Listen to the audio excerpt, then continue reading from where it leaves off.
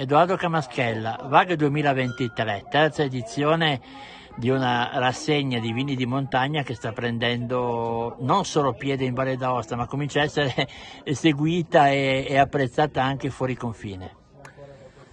Grazie, eh, intanto ti ringrazio.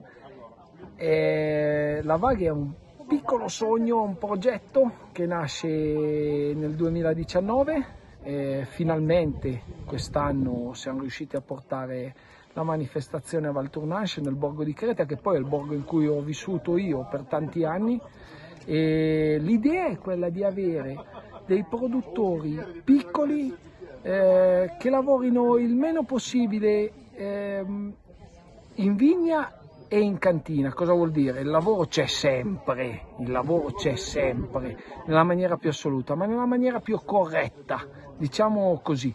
Eh, ci sono diverse realtà piccole, eh, ci sono dei racconti diversi che vengono fatti nei vari tavoli di degustazione ovviamente c'è sicuramente un borgo di montagna inusuale che è quello di Creta che tra l'altro è anomalo rispetto alla salita di Val Tournage che è in piano e quindi è molto bello.